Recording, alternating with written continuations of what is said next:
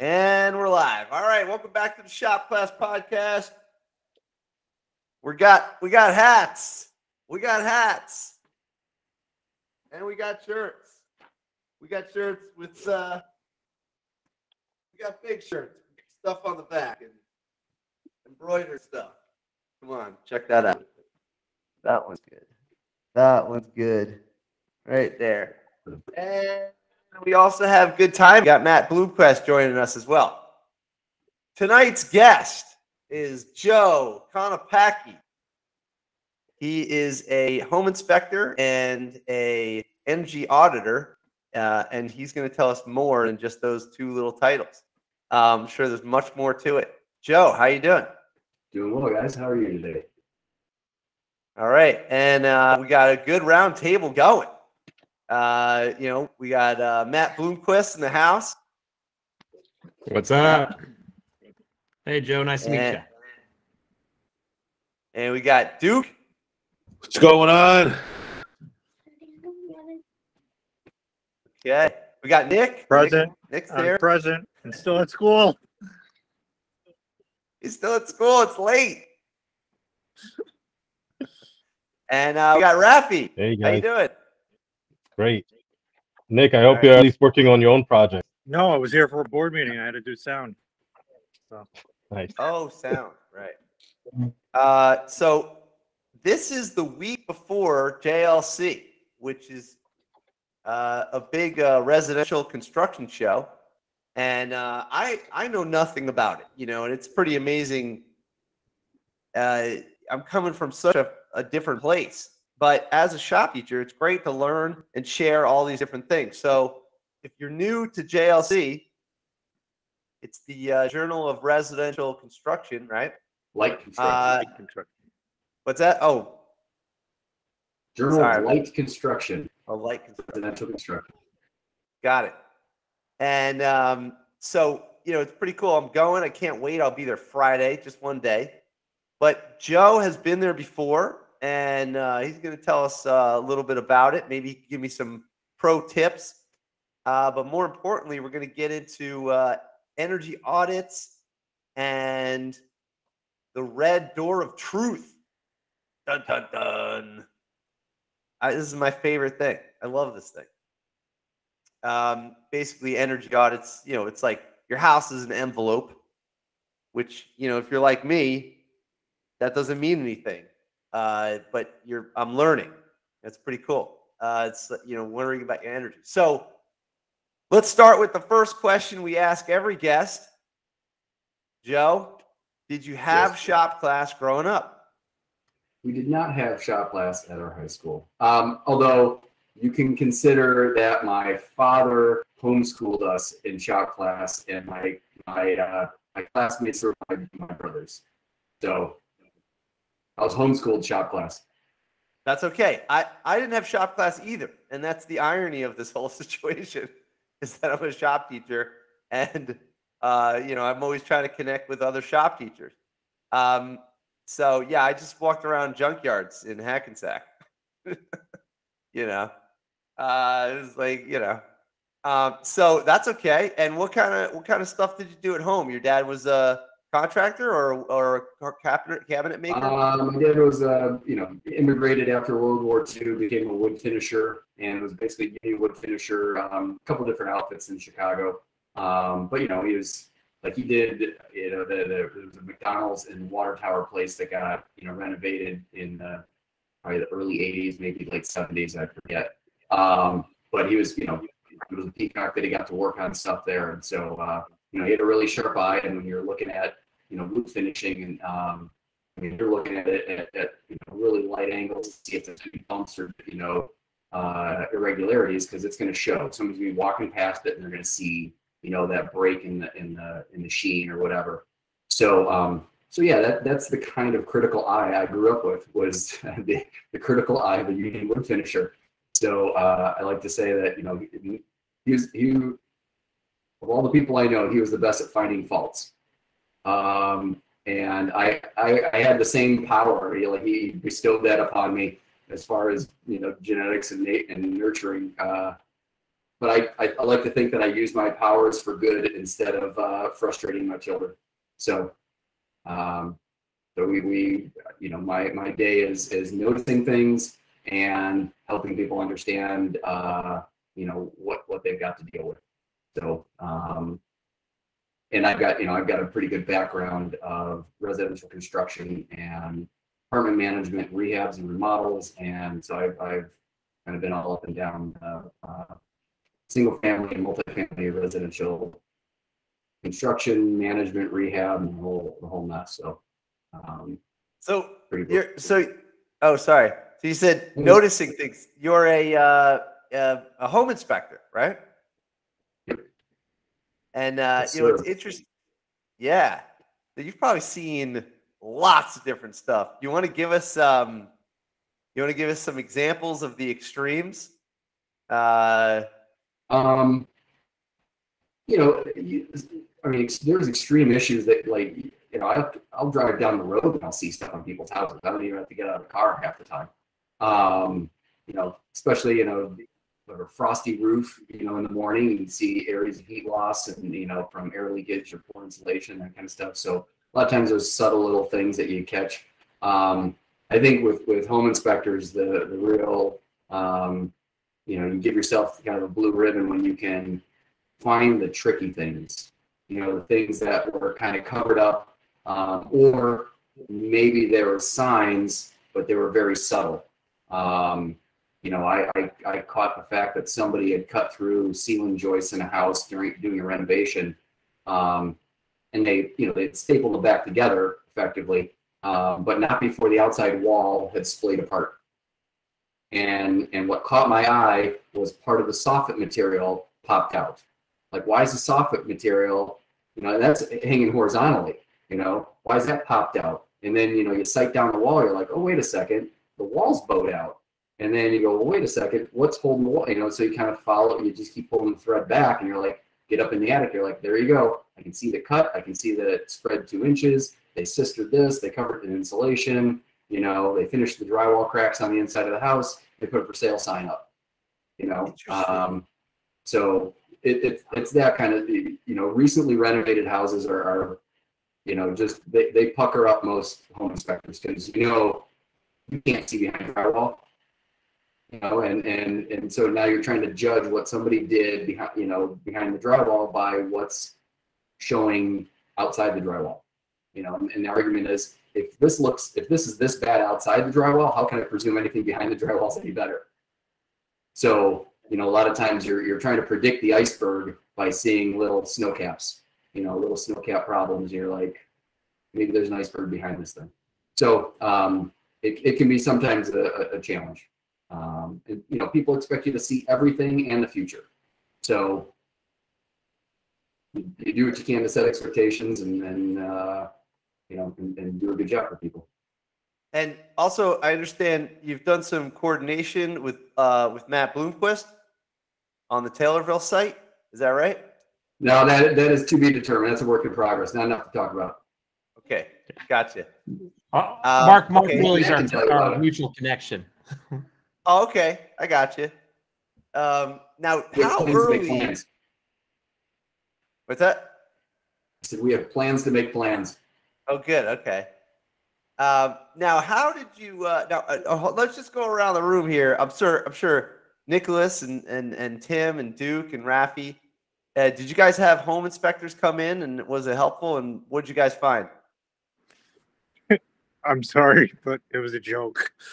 like Oh, the little, you know, that the inspector could look, it's like I could see more than that, you know, just by poking my head in the attic. you know, it was, you know, but we were young and naive and did what we were told and checked that box and it helped. But what? That's Yeah, our. my, my inspection was was was sad, uh, but I didn't know what to expect either. It was before I went when I went through the training. I was like, man, that guy ripped me off. That was a shabby home inspection. I didn't know any better, you know. So J- Joe, can you make up for the bad home inspector that Nicholas had, please? uh, yeah, we come and do. I'm not moving. You know, what do you do except the next the next right thing? right? I mean, you can't change the past, so you kind of go, okay, that you know, let's learn the lesson, and what's the next right thing to do, you know? So maybe maybe we do a performance test for them and, and show them where where the opportunities for improvement lie. So that's that's usually what we're doing after home inspections is is you know they own the house and then they go, geez, things are starting to break, things are gonna have to get replaced. What do I do and in what order do I do it? You know, the furnace guy says furnace, the window guy says windows, insulation guy says insulation, surprisingly, you know, and you probably need them all, but which order? You know, Oh. in, you know, what order and in what measure and in what location, you know? And so do you count those on those guys to to diagnose everything accurately in a whole house fashion and line up in order? Thank you. That's an interesting angle because right, because you're not trying to sell furnaces, so you don't have a a bias towards any one particular thing. So you're like, okay, I'm just representing the homeowner and a good inspection. So that's interesting. Uh, Joe, I'll defend you. I uh, not that you need it. Oh, there's there's some shabby inspectors out there. Uh, I'm not even Yeah. gonna, I'm not gonna even say there aren't. That's okay. I had a good one. Um, I almost bought a house. It was crazy. I almost bought this like a old ambulance repair shack in Paterson. This was I was young and dumb, and I just wanted a garage, and this was cheap. And it was somehow sectioned off from uh, from the mansion, and then they in the I don't know fifties they turned like some old mansion from hundred years ago, and they turned it into an ambulance repair shack in the 50s or something like that. And then somebody started living in it, but by building a house above it. And the inspector walked in and he's like, This is not a house. I was like, What's what's wrong? It's just a big garage. He's like, Oh, dude. And he like showed me, he's like, Look. And actually, what he found in like two seconds was that the the structure that was originally put up was not rated to hold a house above it and was already compromised. Termites had eaten most of the main pillars that went up. And so this thing was like, and all of the electric was not up to code. And he's like, and no one had arrived yet besides the inspector and I. He goes, I'm going to do you a favor. He's like, and I never tell people this. I'm going to fail this and I'm going to, and, and that's it. And I go, really? Wait, what's going on here? And he's like, you're going to thank me later. And- oh, yeah. It's, I mean, this is a long time ago, but But so he pulled the ripcord for you. Just you're out. Shh. exact. He just was like, dude, no, you're not buying this house. A lot of times, a lot of times, you're not even buying a house looking at the energy aspect of it. You're looking at how many bedrooms it has, how many bed bathrooms it has, and what it looks like from the outside. Like you're not really thinking about, you know, if there's gaps in the windows, gaps in the garage doors, how old the roof is, you know, and you're so excited when you're house hunting. You, you really don't care what the energy problems are, you know. That's a good point. not, it's not on most buyers' radar, man. It's it's location, uh, you know, room, number of rooms, number of parking spots, amenities, you know, and then and everybody has a presumption that it, it all works fine. Like it's all going to be perfect. New ones are going to be perfect. Old ones are going to be perfect. Like, man, you're buying it. You're buying somebody else's, you know, road hard and put away wet house. I mean, this is they they lived in it hard in some cases. Uh, it's not going to be perfect. So it's one of- a big part of the job is setting people's expectations you know what you know what you know what do we do? What can we show you? What can't we tell you? Um, i mean there's just stuff i can't see the future crystal ball hasn't been working for a while you know um, but uh, and, and you're not buying a perfect house and you can't and when, when somebody's selling a house they're not going to make it perfect for you you know? You, you're just you're just trying to op- you know buy the house with with eyes open that you know to, with with kind of full disclosure here's here's the dented up you know old house that used house that you know you're getting.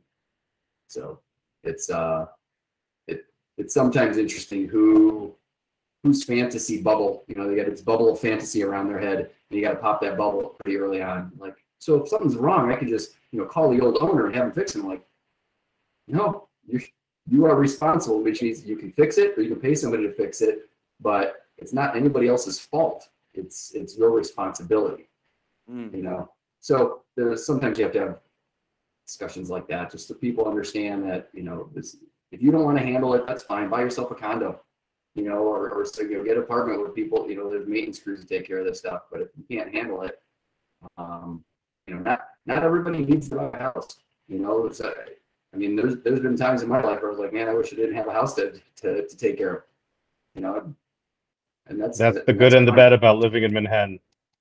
yeah Oh, I live in Manhattan in an apartment, and I am jealous always of backyards and gardens. And you know, my kids are not digging in mud. Uh, They're older now, but you know. And then I talked to my friend who lives in Maryland, and he's like, "Yeah, I just had to put a new, you know, uh, driveway in, and his heater broke. He has to replace that." And it's like every few months, he's like, he goes, "I just paid a year's month a, a year's rent in Manhattan on one thing on my house. Oh my god, that's wild. yeah. So so it's like, you know, this like juggle of like it's great to not have to take care of a house and worry about all that stuff, but on the other hand, I think I would swap. You know, and Duke brings up a really good point with the energy situation. Um, I don't even think that, like, if you go to Zillow, do they have an energy score? Uh, is, this Um, a, is this a thing, or they don't do any of this stuff yet? They're on different on on different MLS systems. So me, I don't know about on Zillow. Um,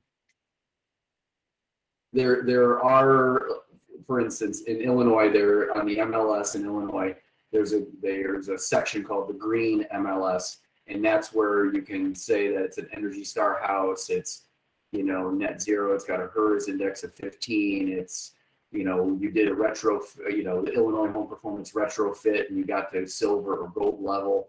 So there's they're they're giving you a, a venue to kind of brag on the house a little bit to try to show that it is not a comp to you know you know a similar house down the street. Your house is better. You went in there and you improved the performance of the house, and so you can represent that in the uh, in, that green green MLS portion.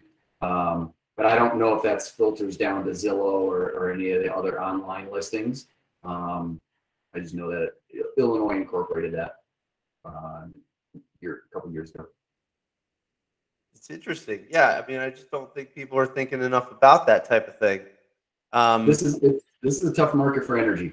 You know, everybody. I mean, the housing market's tight, so people are just trying to grab something, and they figure we'll just have to fix it up when we get it. Um, but you know, or or you're commissioning the build, but even that's tight. You know, um, materials are tight, and every you know, labor's tight. Um, but yeah, the, you know, we, we've been trying to convince you know our new home builders, you know, uh, more of them to go Energy Star, you know, to differentiate themselves in the market. And their answer was, I just have to finish a house. That's all I got to do to sell it. I just got to finish it. You know, if I can find the guys and I can get the materials and I finish it, I'm selling it. It doesn't have to be HERS anything. It doesn't have to be, you know, Energy Star anything. It's, I just got to get it done. And uh, I, I don't even know what to argue with it. You know, I mean, there's builders that, you know, have been committed to doing Energy Star uh, prior to, you know, the, the last two years. And they're, and they're continuing to, to go with it. So they, they're, they're not going backwards.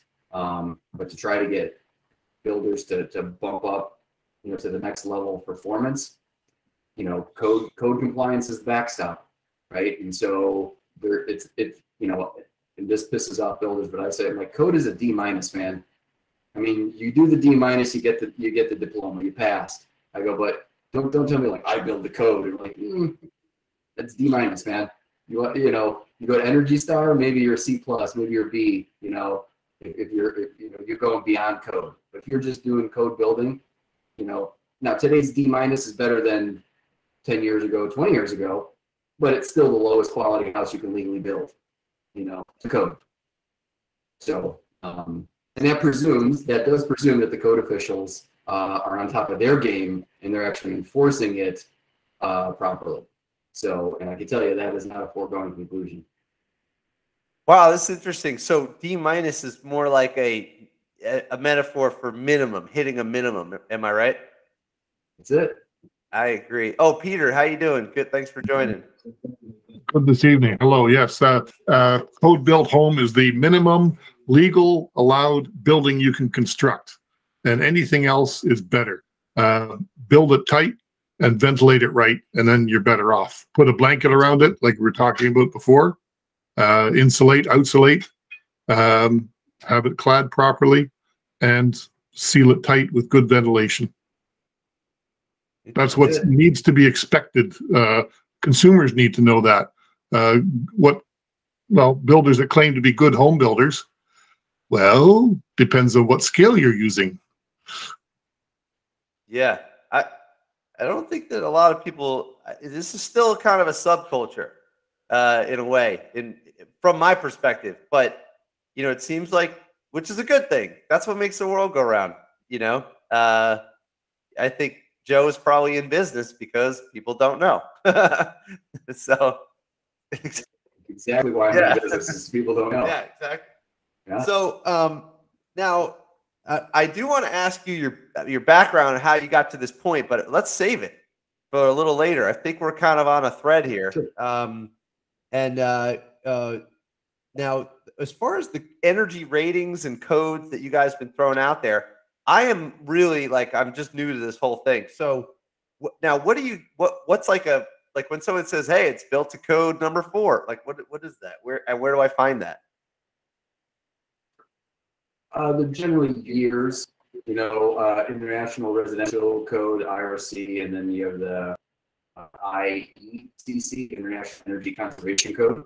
Um, and so different municipalities or states have accepted different years, right? So if you if you see like the most recent year is going to be the at least for the energy code is going to be the highest performing code. Um, so some some states municipalities will adopt the the international code every time it changes. Sometimes they'll do every other change because it's you know whatever. It's a little tough to get everybody uh, um, on the same page, you know, or get it you know changing the code every three years. Um, you know, get all your builders to to shift their practices. I mean, it's not like they're building a completely different thing, but you know, eventually you're you're changing your system of home, home building every three years. Um, slight changes here or there. Uh, so a lot of times it's every every every six years, you know. So they they they don't do every every three year code change. So it, it varies. Um, so the yeah, I guess the the best way to, to know is to you know look uh, you know um, online to see what municipal you know what codes uh, your municipality is are enforcing for new construction. So I'm in North Jersey. So how would I find what codes are being enforced? Uh, I would I would probably search Google New Jersey, you know, building code or you know building code for your county or Building wherever code, your okay. your uh, municipal code enforcement office is, uh, whether it's a city or a county. Um, they'll let you know. You go to their their code office. Code code. Oh, now code okay. So I'm I'm, in, I'm naive about this. This is not independent. This is like a government. The government sets this. Is that right? state, county, municipal. It could be any, you know, in Illinois, it's the state. The state adopted the energy code, and the municipalities that have code offices, enforcement offices, are obligated to enforce that the state adoption. Um, sometimes they do a good job enforcing it. Sometimes they don't even make an attempt.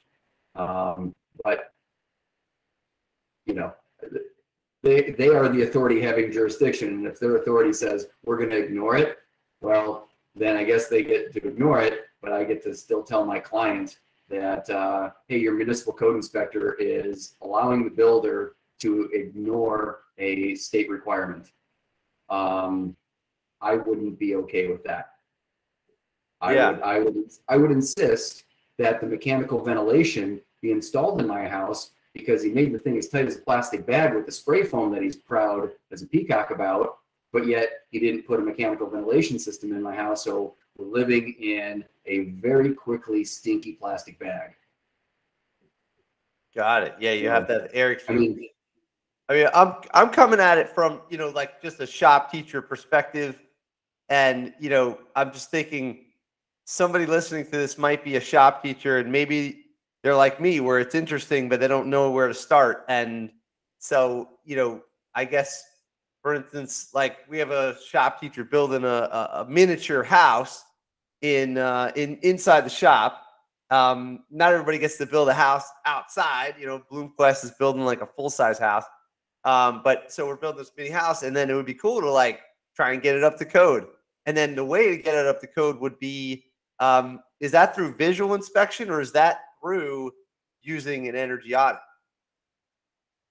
There are um, diagnostic tests that are in, in, the, in the more recent codes. You have to do a building leakage test on it. Blower door, building envelope tightness, uh, building leakage. I mean, all, all it's all talking about the same thing. Blower door test. You're you're you're pulling a pressure on the house and seeing how leaky it is. Um, every every new construction home in Illinois is supposed to be having that done. Constr- uh, commercial buildings. We have. Uh, I just had a client calls that. Yeah, I have to. I, we have to figure out how to move 85,000 cubic feet per minute out of this place. So um, I got a colleague out of out of Madison that's got a fan that'll move 65,000 CFM. So it, it pulls up to an overhead door. You got a plywood around the thing, and uh, and and if you walk too close to it, it will pull you up against the intake screen. It's Oh my God. Yeah. All right, Um, now, most most Yeah. homes, it's just a big. It looks like a big box fan. You know, like a whole house fan in the ceiling or something like that. It's like a two and a half foot diameter fan, two foot diameter fan. Um, but that is required on all houses. If there's duct work going outside the, uh, you know, into the insulation or out past the insulation, you've got to do a tightness test on the ducts. Uh, those are the those are the diagnostic tests that are required. Um, everything else is visual. I mean, even the mechanical ventilation, you know, that's that's probably the biggest area where, where things get skipped by um, by code enforcement is they'll they'll identify that a piece of equipment exists, but I I've come home 11 months in, you know, they they didn't have a an inspection because the house was new. You know, who needs to inspect a new house? It's perfect, right? Um, and so, you know, after living there for 11 months, they're like, uh, one year warranty's coming up pretty fast. I'm going to have somebody come in and inspect it before my one year warranty is up. And, you know, yeah, they had a ventilation, a mechanical ventilation system, and the wires are still coiled up and tucked inside the cabinet and not being hooked up to anything. 11 months later, you know, so somebody checked it off. Yep, it exists. It's there. Nobody ever hooked. And you know, and hooking it up is is only part of the part of the challenge. You know, you got to measure it. You got to commission it. You got to make sure that it's actually moving the air that that the house needs. Um, you know, you're trying to Goldilocks the thing. You know, not too much, not too little. You know, they didn't even hook it up. So, you know, amazing. and it's and I'm not, you know, we're not trying to give people grief. People have bad days. Somebody gets, you know, a whatever call. You, you know, you got to go pick up your kid from school today, so he walks away without finishing the job. But then nobody picks up the slack, and nobody, you know, the quality control is not there, and you know, and then the homeowner doesn't think that that you know a, a new house needs to be inspected because it's perfect. Um, you know, so 11 months later, I, I came across a bath fan 17 years later and it still had the packing tape inside the thing. So it was blowing against a closed damper because it was still taped shut from from sh- initial shipping. Wow i found three. I found three of those in the HVAC contractor's house. His guys put it together, and of his eight bath fans, three of them are still taped shut on the inside. You know, so little things like that. And you know, is this your employee? He's working on the boss's house. What what's what's what do the rank and file clients get? Yeah. know, wow. and the code the code enforcement guys didn't catch it you know um, so there's i mean if you do if you don't if you don't test it you're just guessing you know um, and too many people are just assembling boxes and kind of i'm out so um, without, without having uh, you know sharp set of eyes you know you can be going you can be putting a lot of systems together whether it's framing or duct work or whatever um, if nobody's double checking it, you know, I don't know. I don't know a plumber that packs up his tools without pressure testing the pipes. Right? I Mm. mean, I- I saw a plumber throw a wrench at his assistant because he started taking tools out of the job site. He's like, "What are you doing? We're still pressure testing. We're not done until there's no leaks." You know, and like that needs to be the mindset. You know, why is somebody else going to find the problems?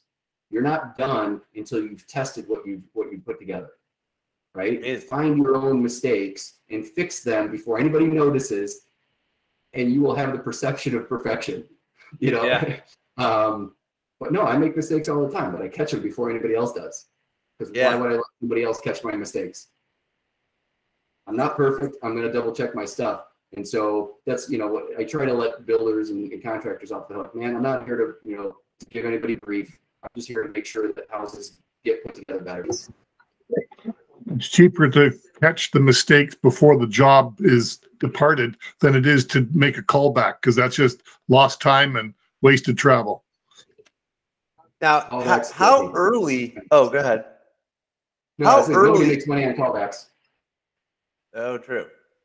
How early in the process uh, should the inspector be involved? Actually, the inspector can be the job site's best, the owner's best friend.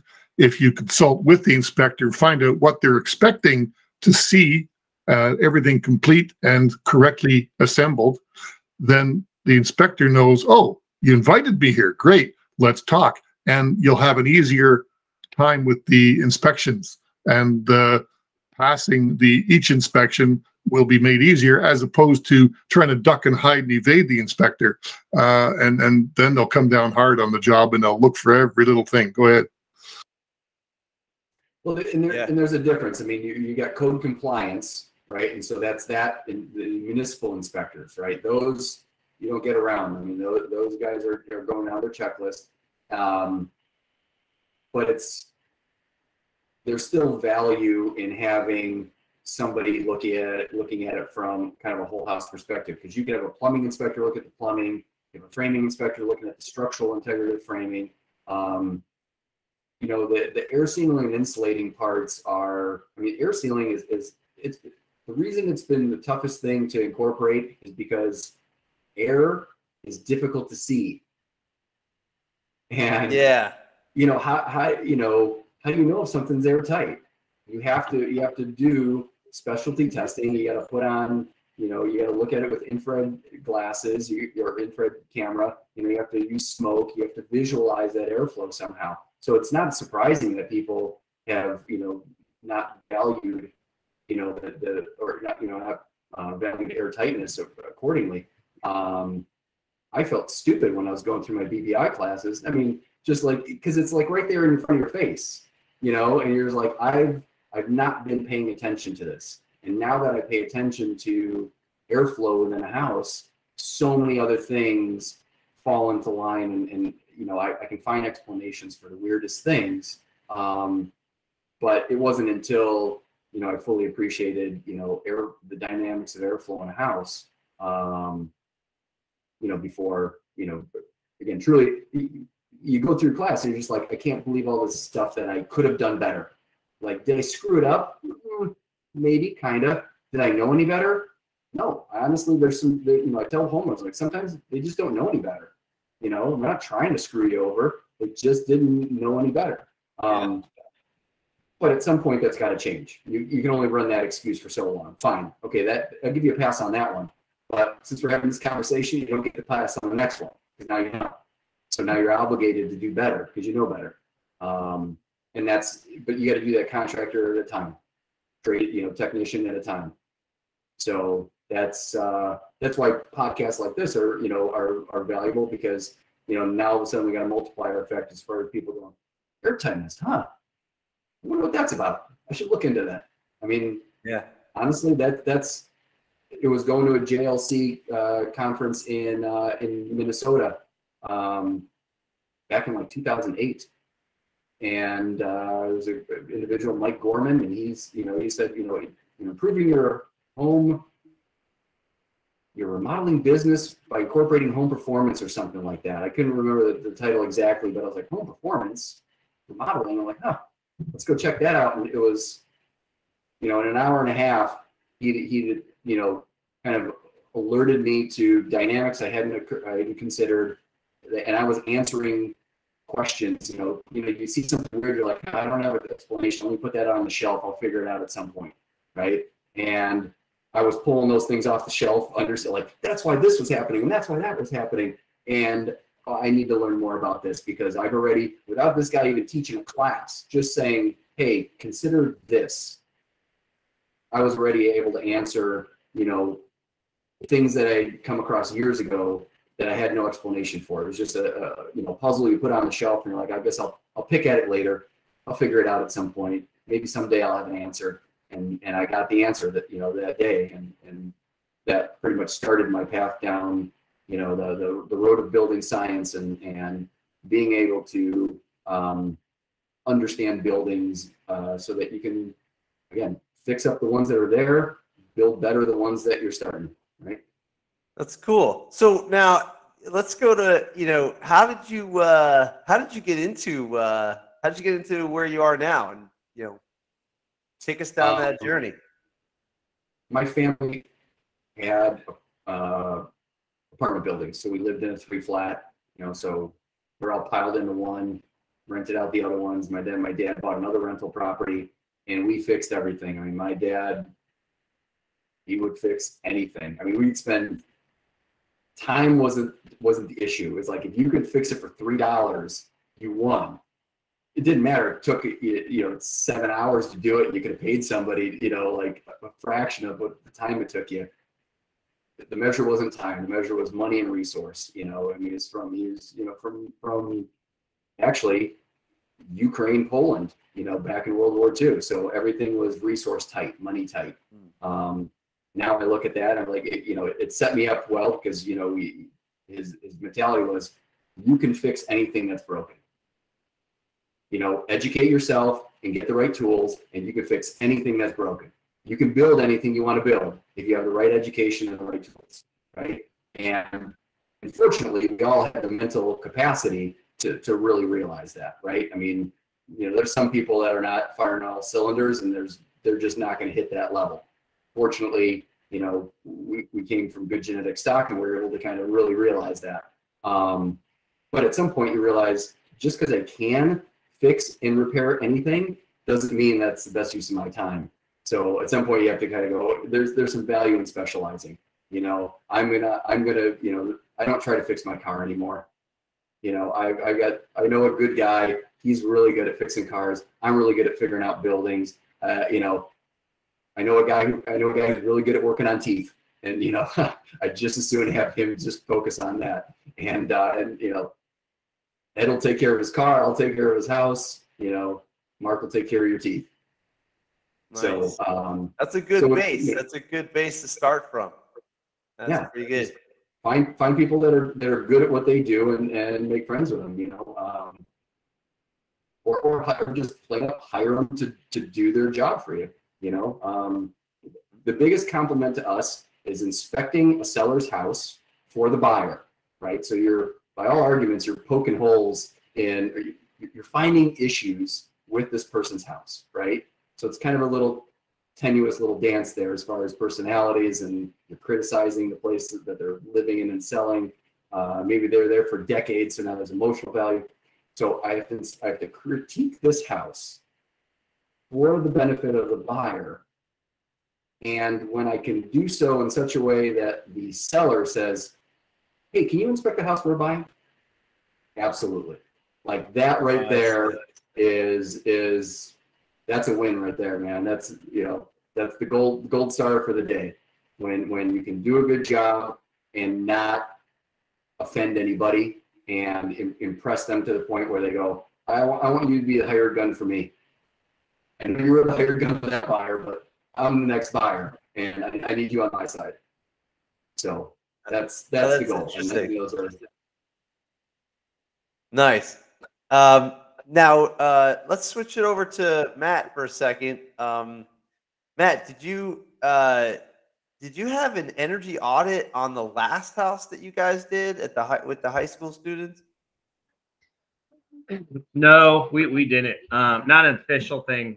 So what we've been doing is uh, we we have we own a blower door kit, which you guys on here know that.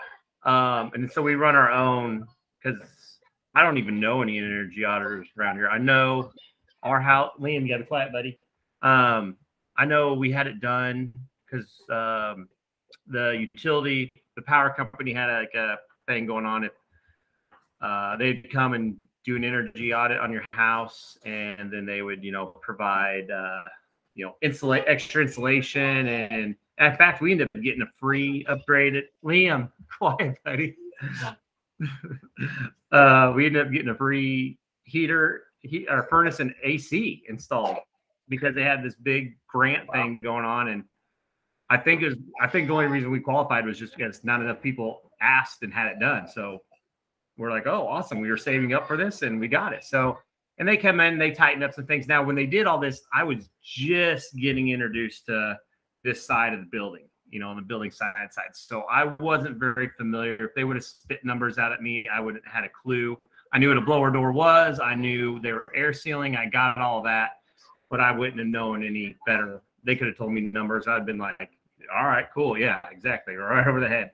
So uh, now, as far as the house goes that we build with students, I guess we do our own unofficial one. Um, we this is one thing where Mark and uh, Joe and I have kind of chit chatted on emails uh, one or two times about the idea of having Joe come down and you know educate the students with it and you know kind of do a I mean I guess you could say it's an official energy audit I suppose since it would be Joe doing it. Uh, so that, that that's kind of what direction we're kind of going with connecting with professionals like Joe, uh, just because we don't really have a lot of those resources in rural Illinois. Um, which I'm sure if I looked hard enough, I could probably find some. But uh, um, yeah, we're you know, work through our network friends here, kind of thing. So right now we use the blower door as a building far? tool during the build. Oh, sorry. How far apart are you guys? Just hours, a couple hours? What time? What time are you in, Matt? Taylorville. Uh, I'm in Taylorville. We're just south of Spring, Springfield, so we're probably depending on where you're in Chicago, west suburb. So maybe three, three and a half hours, unless you're really far north. Yeah, you probably wouldn't even be four hours away. Yeah, yeah it's probably closer to three. I'm in Southwest, so um, yeah. No, we could. Yeah. You know, it, it's it's interesting to to quantify you know the, the level of performance of a house. And that's effectively what energy audit is is you're just saying okay if this box if i keep this box at 70 degrees all year long you know what's it gonna what's it gonna eat you know for heat energy? What's it gonna eat for cooling energy? And then you know and then it, the next level would be to incorporate like you know plug loads and, and other appliances and that kind of thing. So that's where your energy star consumer appliances can factor into there your lighting um, you know, it's funny we, in energy auditor classes we teach, we talk about you know base load being you know electric being usually your fridge and freezer that never turn off, right? They're always plugged in and they turn on on their own schedule to keep themselves cold. Um, I think we have to factor in the friggin' entertainment center. The routers, the computers, the friggin' Xbox that never gets turned off. You're lucky if they can turn the screen off, you know, when they go to school and they flip the screen on, the game's still going. They just paused it for, for nine hours. Um, you know, so the base load electric is is really kind of getting getting up there. The only good thing is that with LED lighting and a lot of other um, uh, you know smaller electronics, they're the, the loads are getting smaller. Like they're not they're not you don't have that much of a lighting draw. The electronics are getting more energy efficient, throwing off less heat. So in general, components are getting more efficient, but there's a lot more stuff getting plugged in and left being left on. Yeah, for sure.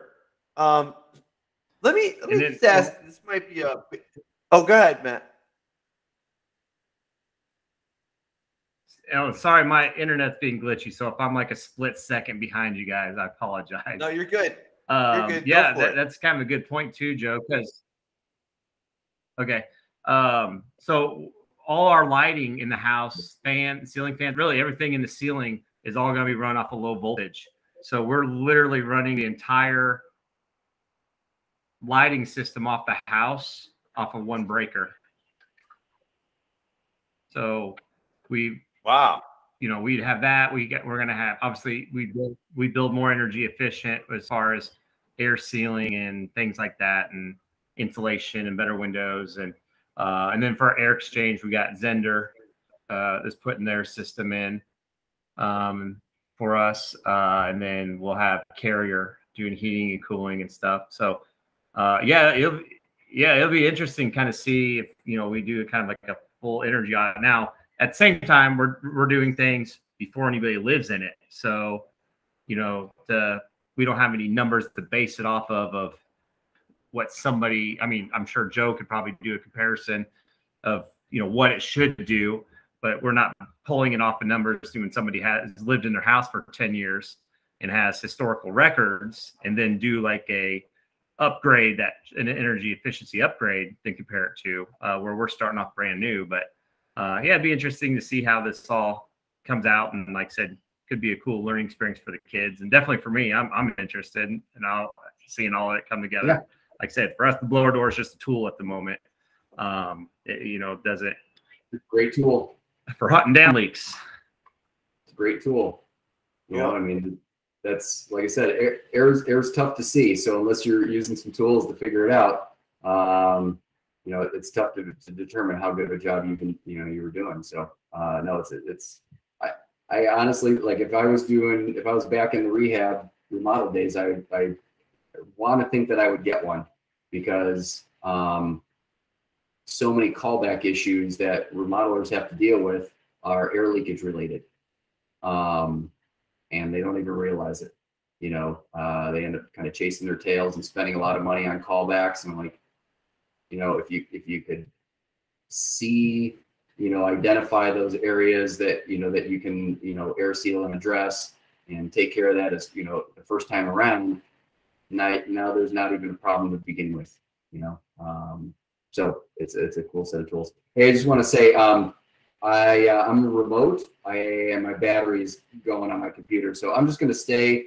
When it drops out, that means my battery died, and uh, Oh, uh, I might have another ten minutes or so. We'll see. oh, okay then. I just want to give you a heads up. If I drop out, I'm probably not getting back on. No, So- no problem. No problem.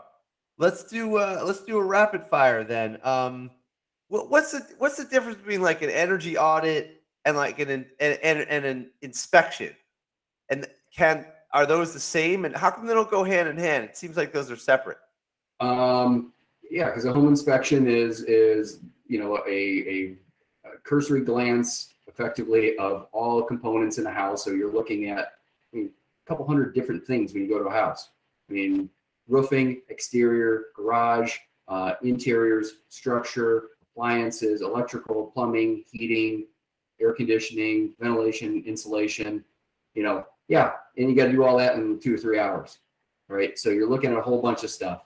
Um, and it, it's like the nurse going through the checklist and that, you know, basically saying, Hey, doc needs to look at this a little extra. Someone need, the specialist needs to look at that. I mean, you're looking at a lot and, you know, so it's, it's wide, but not very deep. Right. And it's just, you know, you're giving somebody a better idea of the house that they're getting. Now, obviously, the deeper you can look in that period of time, the better inspector you're going to be. But a lot of home inspectors are fairly superficial and quick. Um, and if you're paying 200 bucks for an inspection, that's probably Oh. Did we lose him? oh, there he's still here. Um, okay, I, th- I think we are losing him. I'm not sure. Is he frozen now? Yeah, we lost him. Ah, that's too bad. That was a quick 10 minutes. yeah. All right, no problem. Um, uh, so you know the thing, the other thing I was going to get into was the fridge. Oh, here he's might be back. I'm not sure. Um, there's two of them now. anyway, um, it's funny that you guys mentioned the fridge because oh, there he is. Joe's back. All right. Oh, unmute yourself. You're muted. Step by step. All right, so we're on the phone. So you got to have a backup, right? There you go. Excellent. I should have had a backup charger, but backup phone will work. Don't even So- worry. Um, sorry, you were you were saying something. Oh no, it's okay. I was gonna jump over to I had a question about fridges, but um, you were talking about energy audits being separate from. Okay. Yeah. So, so so the home inspection again, you're looking at a lot of stuff. You don't have a whole lot of time to get very deep. You're identifying that something is wrong with a particular system. You don't have time to do a full deep dive to it, right? I'm not a HVAC tech. I'm not doing a full diagnostic. I just identified that the temp rise is too high or it's shutting off on high limit or, you know, something's wrong. You know, it, it- I don't know exactly what, but you know, it's not working properly. Um, uh, an energy audit can mean a lot of different things. For most most times, it, you're evaluating an existing home. So you're taking in all the you know the components of the house and then doing a calculation of heat loss, heat gain, energy usage. Um, and you can do that quantitative analysis on a new construction home. You can do it off of plans, right? I can do an energy audit of a proposed new construction home and put a you know put a, a quantity of BTUs or kilowatt hours uh, that might be used or in you know a HERS index or some type of score to, to compare it among other houses. Um, when we do existing homes, so this is a homeowner that's got cold rooms or hot rooms or icicles and ice dams or moisture issues or there's something their home is not performing the way they'd like it to. So um, that's why I call it a performance test. It's qualitative. Where is it bad? How do we make it better?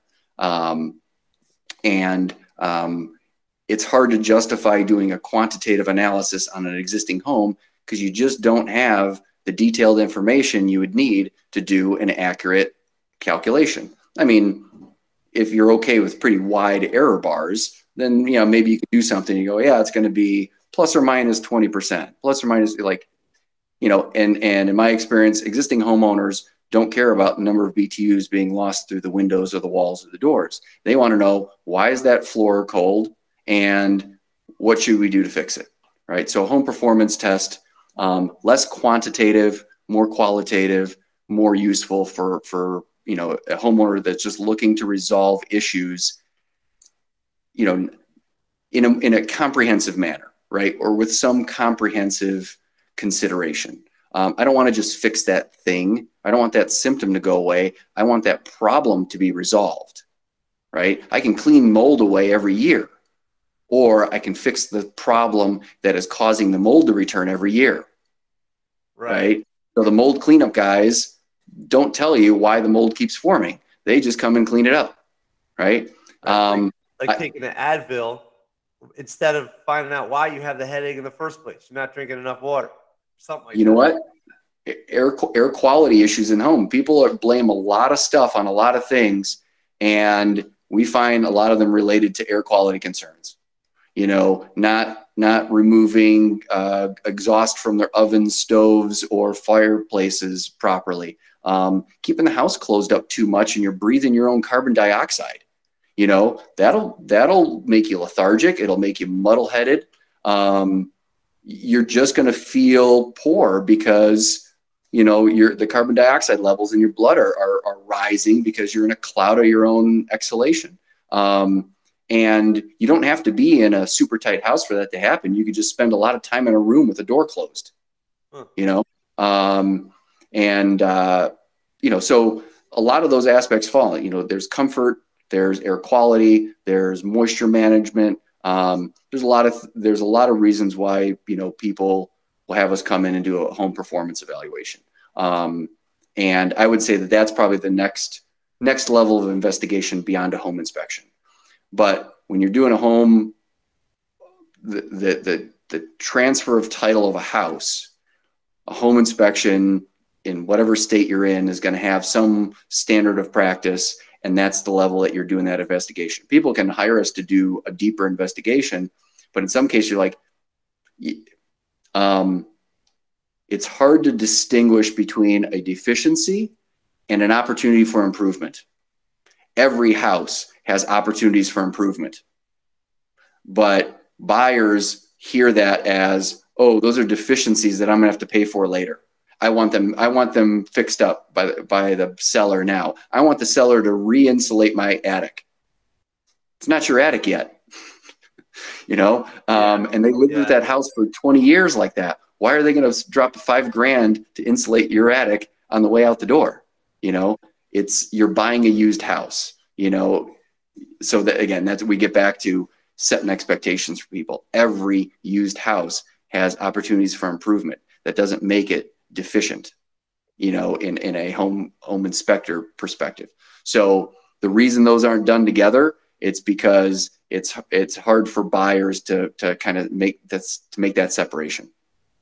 Um, Interesting. That I really appreciate you explaining that because to me, I was always like, why are these things separate? But you're right. It's uh, you're just trying to hit sort of a minimum. Uh, you know, you're transferring the title, and yeah, there's a lot of things at stake, like the selling of the house. So someone says, "Oh yeah, I want you to hit this energy score." They're like, "When I hit it, that would be like, oh, there's a I got an old car. You're gonna buy the car, and then the independent mechanic says, "Hey, you got to make this thing have more horsepower." I'm not adding more horsepower to the car. You, this is it. higher higher MPG, man. I, I need two more miles per gallon, and then, or not buying it. Right. You're buying a used car, man. It is. if you don't want to buy it, you don't have to. But you know, you can't. You, you should not expect that somebody is going to improve upon it before handing it over to you. That's awesome. It's very true. I this is thank you. I appreciate that. Makes a lot of sense. Um, and so the, um, actually, let me get over to Bloomcrest real, real quick. Uh, he put something in the chat. Go ahead, Bloomcrest. You want to talk about that? Oh, he's got a glitchy internet. Okay. Um, he said he wants to do a remodel with students uh, so that he could find, you know, show the proper way to make that improvements are done, you know. And I guess if you got a house instead of they build a house from scratch, but if they Yeah, got a I was, I was uh, you know, just talking. Go for it. We'll wait for him. He's doing. He's he's got a glitchy internet. Go ahead, Matt. Okay. All right. Um. Am I yeah, coming his through? internet's glitching out. But so, but it's interesting. You're Am I glitching. coming You're through, kinda like- Duran? sometimes glitchy. You Um, keep your video off and just do the audio. Oh yeah. Audio. Okay, if it's too glitchy,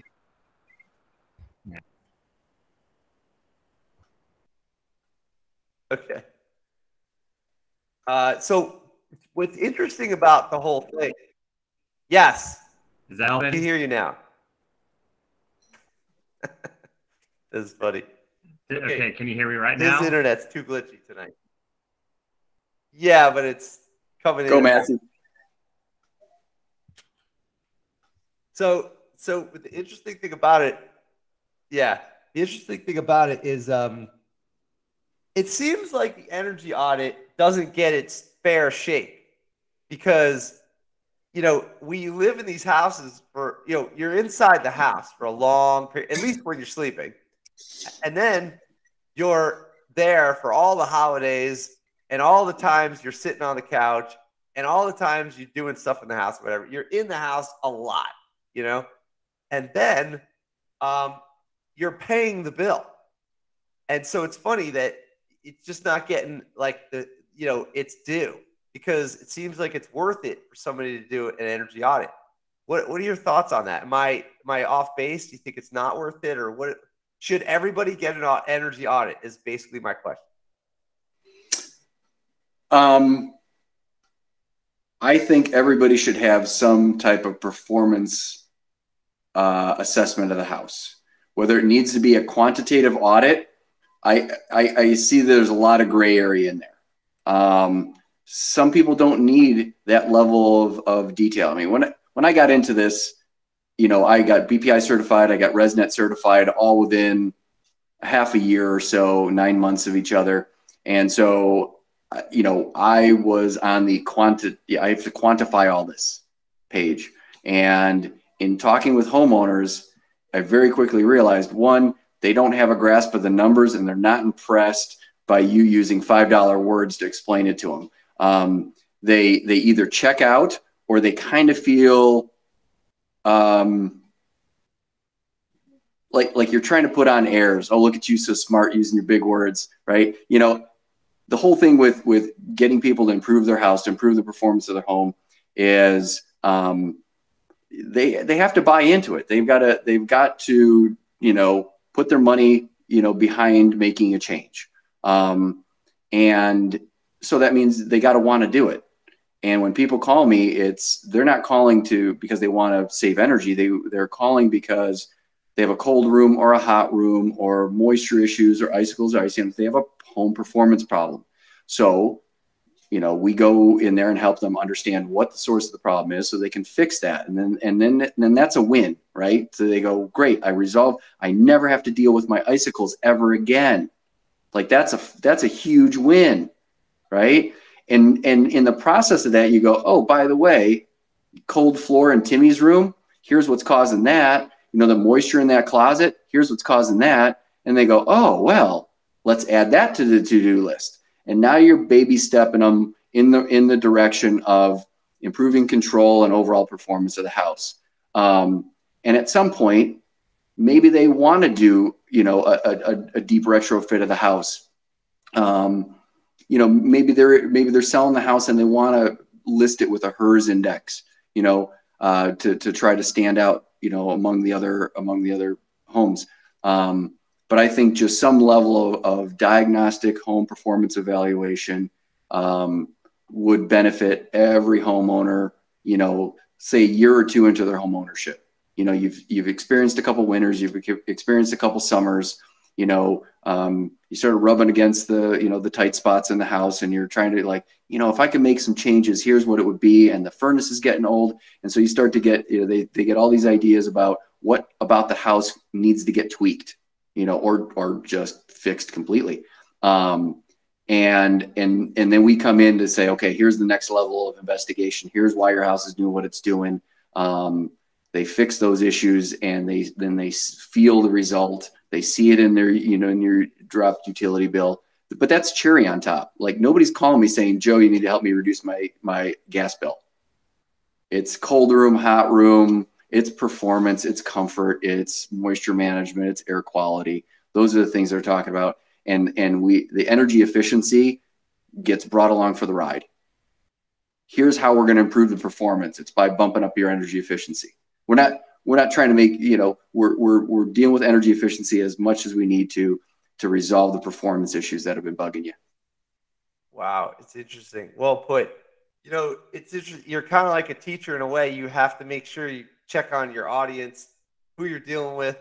You know, I guess if you're dealing with customers, yeah, I got, I, I didn't realize that, but of, of course that makes sense now. They're not calling you to be like, yeah, I can't wait to like outperform the guy on TV or something like that. They're just like, yeah, that wall's cold and my feet are cold in this spot when I walk around the kitchen.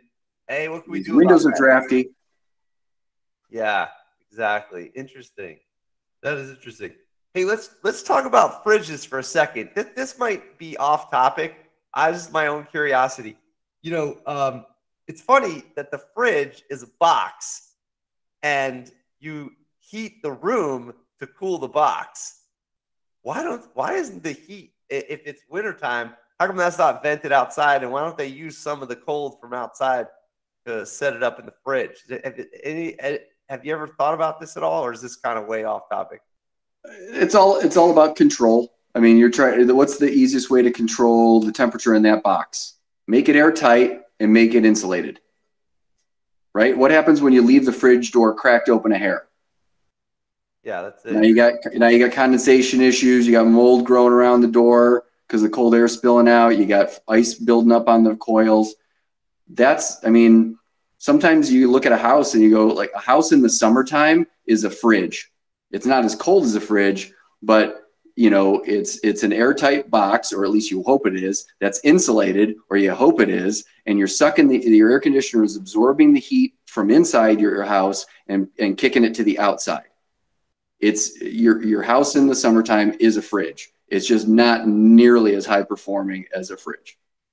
Um, so in, in, some ways, a fridge is a, is a good analogy of what we try to do to the house. Now, um, for those of us that have been in the food industry, there's or you know there or restaurant industry, there are basically portable ovens that look like a rolling cabinet, and they call them Alto-Shaams, or at least that's one of the companies. And all it is is an insulated box that's airtight with a bunch of wire shelves and a heat coil in there.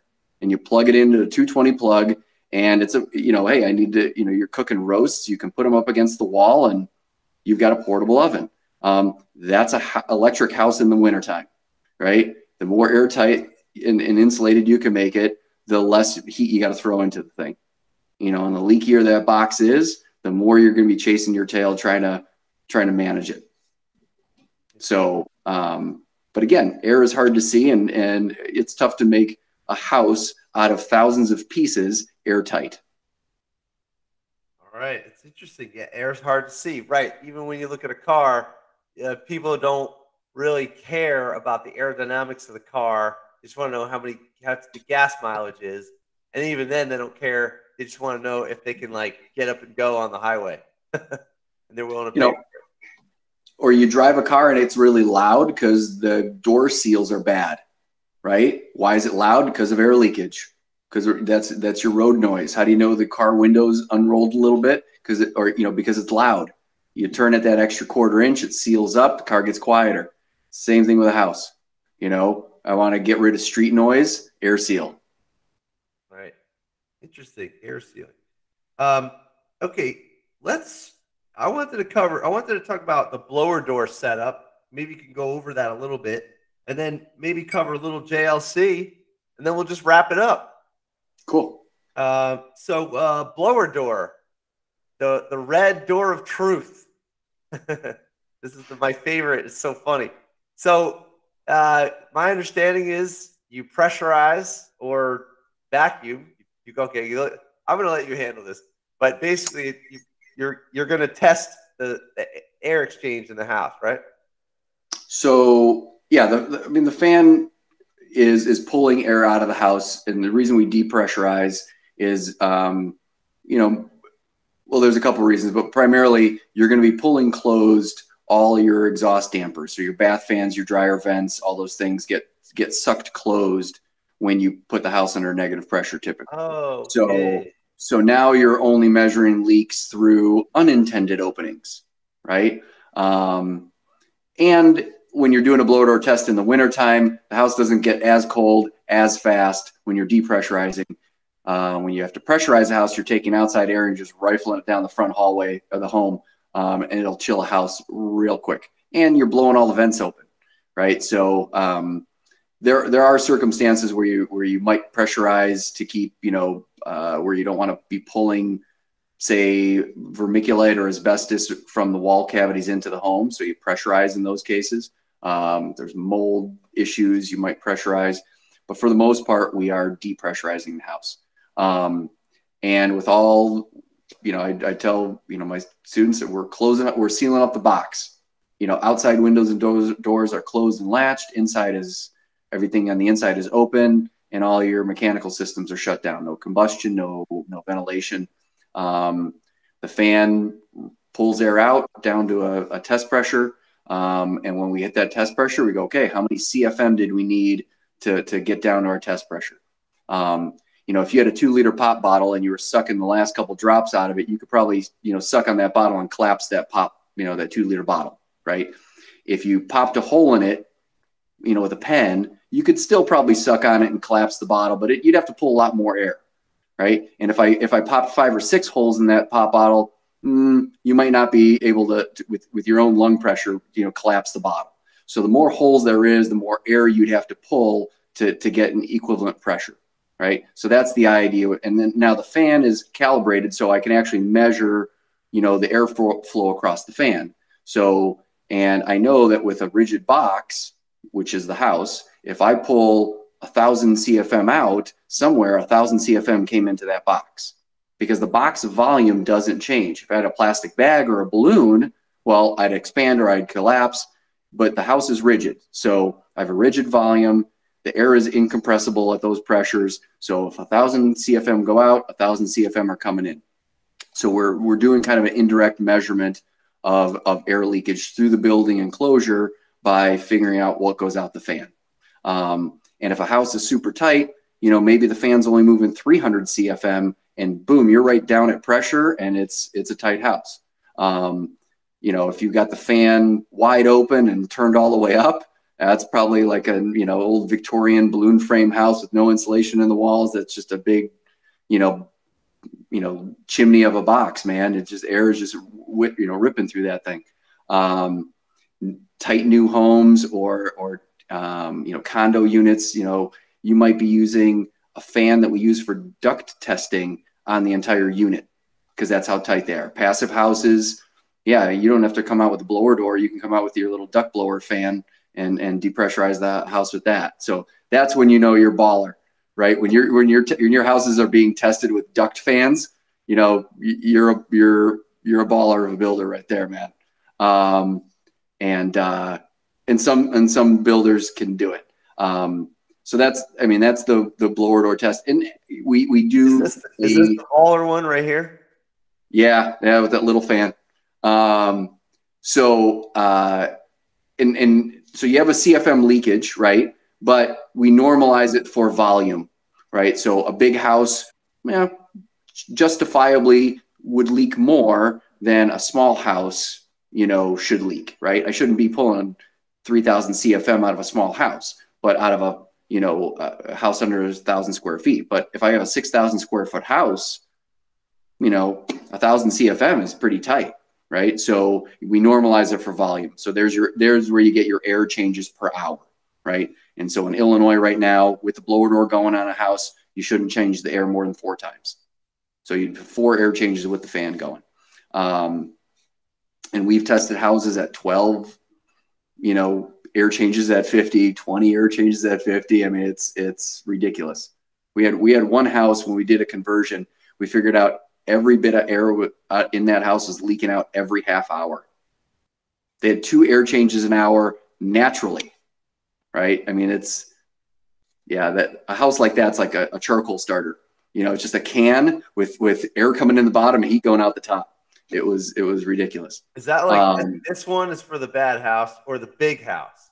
That's for the big house. Yeah, that's for you know um, multi-unit homes you know, you're testing like a 12 unit apartment building or something like that, and they have a common egress. Um, yeah, that'd be that'd be for big building testing. Got it.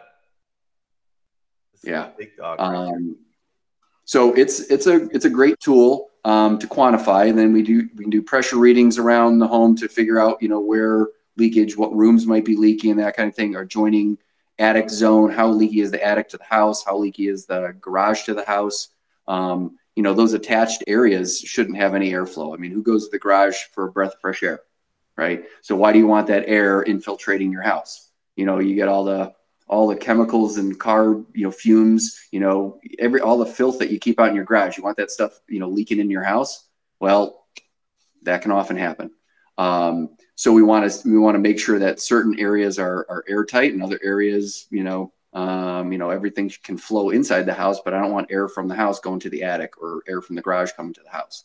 Um, and then the infrared camera is uh, a great tool to use with the blower door. When the blower door is running, everything is leaking in. Every leak in that house is coming in through the holes and out through the fan. So you can basically map the pattern of holes throughout the house.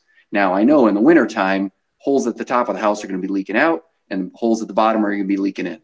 And in the summertime, that's going to shift. And then windy days, it'll leak in on the left side and leak out on the right side until the wind shifts and then it goes out the other way. So the direction, you know, that the air leaks through a particular hole can change with conditions.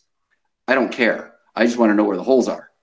Because once we know where the holes are, then we can put together a plan about what holes are most, you know, are most important to get sealed up, you know, to, to improve the, you know the cold rooms or the hot rooms or the moisture issues the mold growing or, or whatever the case might be. So blower door with with with infrared camera and doing some supplemental pressure di- you know uh, referred to as zone pressure diagnostics. You know so measuring the pressure of different zones to get a better idea of how air is moving through uh, that assembly. So it's uh, it's cool man. It, it you know it, it was like somebody giving me glass, a pair of glasses after being nearsighted all my life. You know, you're looking wow. at buildings, it's all kind of fuzzy. You got a rough idea what it is, and somebody's like, "Hey, put these on." You're like, "Oh, holy cow! Everything's got crisp edges." You know, it's it was it was a it was a game changer. Um, and um, so, like I said, it, I'd like to think if I was still doing remodeling projects, I'd I'd be doing this stuff to double check my work because um, it helps you find it helps you get to the heart of, of many, many issues.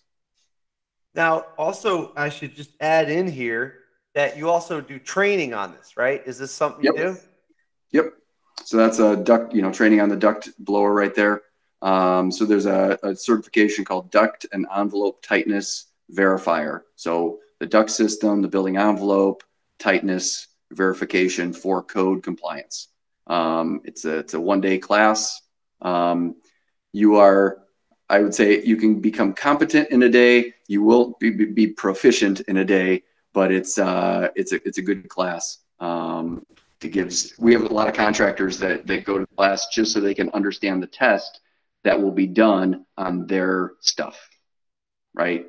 I mean, they might not test their own stuff, but they want to know what that test is like so that they know how to, you know, better know how to pass it, you know, and make sure that they're building their systems in an acceptable, uh, to an acceptable level. Uh, what are you doing here in this photo? So that's a multi-unit project. Um, we're measuring airflow on the ventilation system. So they have um, a, a, vent termination. Um, it sucks in fresh air on the bottom and exhausts stale air at the top. I had to actually field, uh, I had to fabricate a, an adapter to isolate just the exhaust and then another one to isolate just the intake so we could actually measure it because those ventilation systems are supposed to be balanced. You know, one, one unit of air in, one unit of air out. Um, if they're out of balance, uh, you don't get your appropriate heat and humidity exchange.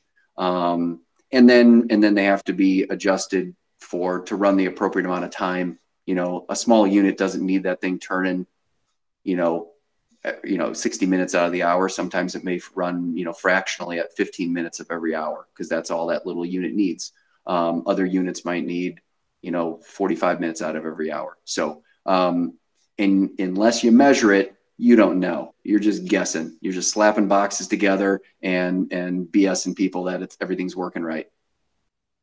And uh, this is your website right here, where you uh, you have all these things. You got the, the training, and uh, this is great. Yep. The uh, I like to tell people like if you know anybody's got questions about a house, whether they're buying it, selling it, building it new, or trying to make sense of what they got, we can we can help them out. Okay, Matt's got his hand up. Go for it, Matt. All right, we'll see if this works on my phone. Uh, Joe, that's awesome. You do that class, man. I'll have to come up. I'll have to try to come up and do that. Yeah, we'd like to have yeah. you. Yeah, that'd be fun. We'll, we'll, get we'll get Mark to show up and hang out, and we'll make Absolutely. it fun. But yeah, that's awesome. Also, the, I had somebody is on LinkedIn. They they told me I made. Is it the is it BPI? Yep. So I had somebody tell me that I may enjoy getting into that or digging deeper into that, like because that that's that's a certification, right? Is that correct?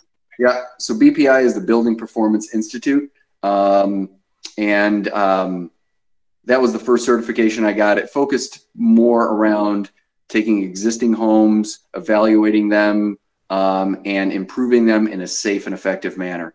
Um, turns out when you make a house tighter, you can turn some things sideways. I mean, you can have some very, very negative combustion safety uh, um, issues from simply tightening up a house without paying attention to that stuff.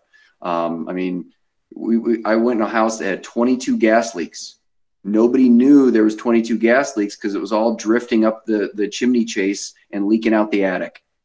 What if somebody came into, oh, we're just going to air seal the attic. We're not going to mess with the heating system. We're not going to, we're just going to seal up the attic. Yeah, you're just going to seal up the drafty hole that happens to be, you know, keeping these people from getting sick and keeping the house from filling up with gas, right? So anytime you start tweaking a system, you kind of have to do it with big eyes, man. You have to look at what else could I be affecting? Because the homeowner has to, you know, has to live in there. And if I jack something up, I'm going to hurt people, or at least there's a potential to. So I have a responsibility to look at some of those, you know, ramif- you know, possible ramifications, and I have to I have to incorporate that into my evaluation. So you know, when people hire us, oh, I just have icicles, or I, I just need this. I'm like, we're doing a whole home evaluation. We're doing combustion safety on your house. Well, I don't need that. You know, with all due respect, you don't know enough to tell me what you need or not, right? And you know, you don't when the, when the, when you go to the doctor with a shoulder pain and and and doctor will say, "Great, I'm gonna I'm gonna listen to your heart." Do you slap the stethoscope out of the guy's hand and go, "Doc, it's not the heart, it's the shoulder. Get that thing away from me. I'll tell you what test you're to do. Like, no, you don't slap the doctor's hand away. You don't tell the building performance guy what tests you need done on your house. The fact you're calling me tells me you don't know what you need. You know, you don't have enough knowledge, you know, to make that determination. I don't have enough knowledge to do my own, you know, will and eh, you know and trust documentation. I don't know how to do my own real estate closings. You know, I, I, I go to professionals who know about things that I that I know little of. And when people call us, it's likely because they need somebody knowledgeable to to help them make sense of what they got, or to call BS on a contractor, or just to get them on track, right? And so, you know, BPI did did a great job putting together their their their um, uh, certification course to to evaluate an existing home safely and effectively. Um, and now they're kind of shifting, or they've, they've since shifted to include more quantified analysis of homes. RESNET um, was more focused typically on new construction, although there's some existing construction energy efficient mortgage programs that were there but it was more quantification.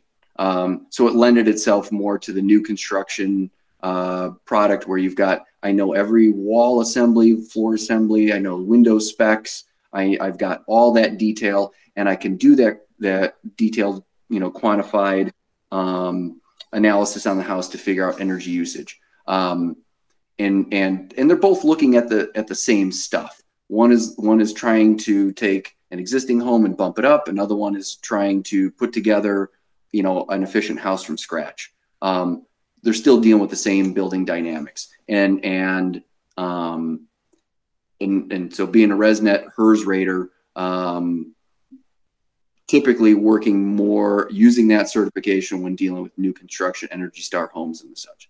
Um, there is a lot more overlap than that. I made it very generalized. People are going to be yelling at me because they're going to say, "Well, RESNET, do you like, yeah, I know. We're, we're doing broad strokes here, folks. So if you're mostly focused on, you know, you, you know, evaluating existing homes and, and trying to improve them, BPI is the way to go. If you're dealing mostly with new construction, go RESNET. And if you can, get them both.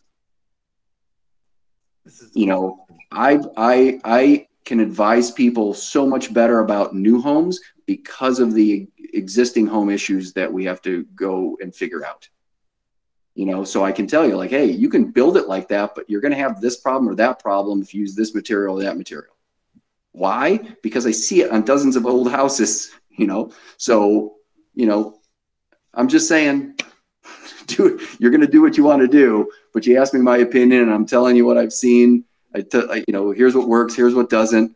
I'm not going to buck reality, you know. Um, I'm going to copy what successful people do, and I'm going to avoid what unsuccessful people do.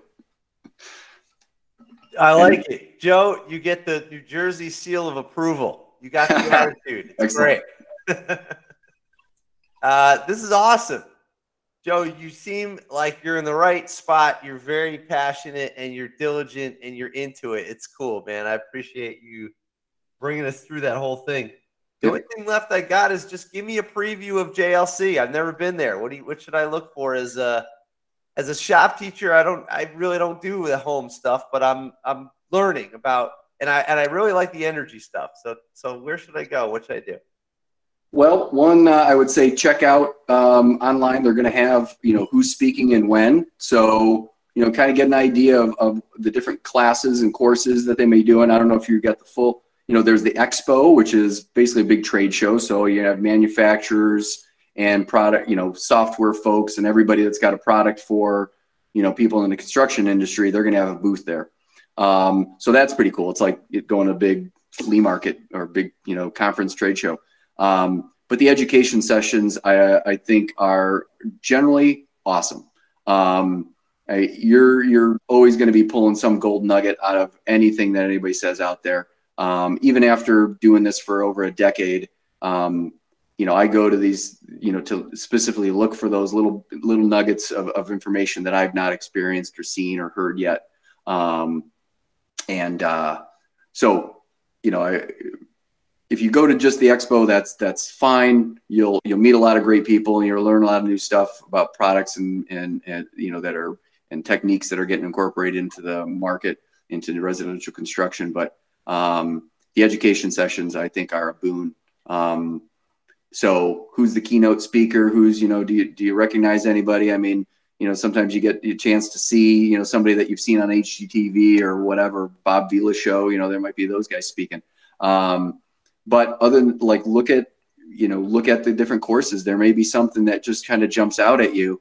Um, whether it's like you know um, permaculture where you're you know you're you're you know if you're you got a gardening bent um, maybe it's energy efficiency maybe it's solar maybe it's air quality um, yeah i mean they've got just a ton of different classes i mean most of the time it's it's it's a plethora of stuff that i you know i'm like man there's like three different things all going on at the same time that i want to see you know so in a case like that i'm like oh they're recording that one so i'll watch it later uh, i'm going to go to the one that they're not recording you know because that'll be my only chance to see it um, yeah, so I think you go through that list. I'm, you know, I got to think that if you're if you're a curious mind, you're going to have plenty of choices uh, as far as you know topics that'll intrigue you.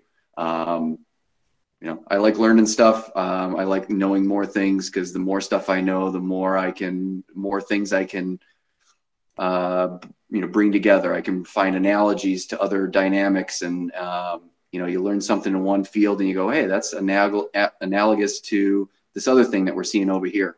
So the more you know, the more you can figure out. Um, so go to learn and and make sure you make sure you bring your glad hands, man. You know, just say hi, introduce yourself, and you know, start networking. There's going to be you know a ton of opportunities for that. That's awesome. That's great. All right, so we'll wrap it up here. I actually still got a pack because I'm leaving straight school tomorrow, and we're headed up there. I'm bringing uh is a science teacher, but he's kind of a shop teacher. Um, Joe, this has been awesome. Uh, I really. Joe, one more question. Hold on, one more question. Yeah, please. Yeah, yeah. What um, have you uh, done anything with drone inspections? Using drones for home inspections, roof. Um, I've, I've, we've not we've not incorporated that into our business. Um, I've I've got a drone. I've played around with it. There's there were some legalities. There were some, mm, you know, certain market forces that you know were were there there at some point there was a there was this presumption that you know oh yeah you're just going to do a drone inspection for free what do you mean you're going to charge extra for it i'm like you're talking about hundreds of thousands of dollars of equipment plus the you know the insurance and everything else that's involved and you want me to just bake that in you know and you know it was it was there like i said there's a lot of things that went into that um, we are within the with it by before the end of this year we'll have a drone we'll have a drone that we'll be using um, it's it's inevitable. You find houses that um, you can't walk the roof. You know, cedar shake roof. You know, uh, steep pitch roofs. Um, you know, camera poles can get you a long way. You know, just basically it's camera on a stick. Um, you know, puts puts eyes where you know where you can't reach. Um, you know, so you know, we're always bringing you know, kind of building out the uh, the equipment set. Uh, a colleague of mine has a camera on a little remote control tank that he uses in crawl spaces because he's he's 300 some pounds and six foot seven and he's not crawling in a crawl space for nothing you know he can not through some attic hatches but he's got his little remote control you know uh, cameras that he can plop in an attic that'll crawl over joists that'll go into a crawl space. I'm like hey man you know somebody better put eyes in that attic. If you're paying that home inspector whether he's up there or he's putting remote control eyes up there somebody better be you know looking at the place for you. So um, it's it's usually folks like that that we're incorporating. I'm still you know skinny and, and flexible, so I'll climb on top of stuff and, and get right on it. So I've been able to push off the drone stuff, but you know it, it's becoming more more and more necessary, and it's becoming more um, e- it's becoming easier to incorporate because I think there's uh, one company that created a drone that weighs like one gram less than the federal limit, so you don't have to register it the same way. Um, yeah, so it's it's like flying a little mosquito around the thing with a 4K camera strapped to it. So there's there's a lot of neat stuff out there. Yeah, as, as teachers, we're uh, like incorporated in the school. I know Nick has one. I have one. I have run an after school program, so it's always like getting the real world connection with them. Um, I still get email notifications for like uh, you know, drone surveyor or drone drone home inspectors. So I was just wondering what uh, how you were with the technology up keep it up. There's you know, with home inspections, there's so many different subspecialties. Um, I mean, you could do, you know, insect, you know, pest inspections. You could be doing radon. You could be doing um, mold investigation, drone inspections, infrared, you know, inspections. I mean, so there's, um, I mean, most home inspectors have kind of a subspecialty. Um, some have many. Um, I think it's it's good to not have too many of them because you know you can't be great at all of them, right? You know, so you kind of have your core set of skills, and then there's the things that you like doing, and then at that point, it's a matter of I, at least the way we go about it. We network with other, you know, I'll bring in other inspectors on jobs if they've got a subspecialty and it'll complement, you know, or you know what we're doing. Um, you know, we'll bring other guys in. It's it, you know, if you had all these certifications, you'd spend, you know, two months of your year just going to classes just to try to keep up your continuing education and certifications and licensing. You know, so it, you know, at some point it's hard to justify all the all the subspecialties, but drones drones will work their way in there pretty soon. Cool. Yeah, and then uh, I guess does Matterport have anything to do with inspection? I wonder. Maybe that's just documentation. Yeah, Matterport will will basically create a 3D rendering, 3D model of your house, a digital twin, right? Uh, camera, infrared, li- I don't know, infrared lidar, so it's um, light emitting infrared, so it can actually get measurements. Um, and that's what you see on some of the 3D real estate or uh, real estate listings, where you can kind of do like a 3D tour of the house. Most of those were done with a some type of Matterport uh, imaging where they they took pictures from various locations, stitched them all together, and effectively you got a little digital, you know, copy of the house. So it's uh, it's pretty slick. That's pretty cool. Yeah, uh, Matt was doing some of it on the last house, and maybe he'll do some on this house coming up. cool. This is great. Uh, it seems like it's a really big topic, and Joe, I appreciate you breaking it down for us. I know we just kind of, like you said, broad strokes. I'm sure there's a lot to there's a lot to this. I mean, it's the whole house, you know. Wow, a lot, a lot of different sub subsystems and aspects of the business. That's for sure. It's like it's like it's like imagine if you're buying a used car, but the used car could be a hundred years old, and then you're wondering about the engine. And it's like, oh, you got a good engine? Yeah. Well, there's more than just yeah. There's what kind of engine and how many horsepower does it have and is it efficient? You know, can you upgrade? Is it worth it? Man, that's so funny because cars only last about 15 years and then people just throw them out. So, um, you know, unless it's like classic or something. Uh, but so houses, they're on, they're on the road for a lot longer and they, you spend a lot more time in them. So it's pretty amazing the effort that goes into the houses. So I think, yeah, you need, you need to have an inspector that is on the case, you know? It's cool. Always, always good to have somebody, uh, somebody to, to, to tap with, with deeper knowledge in, in, in an area that you're not expert at. Right.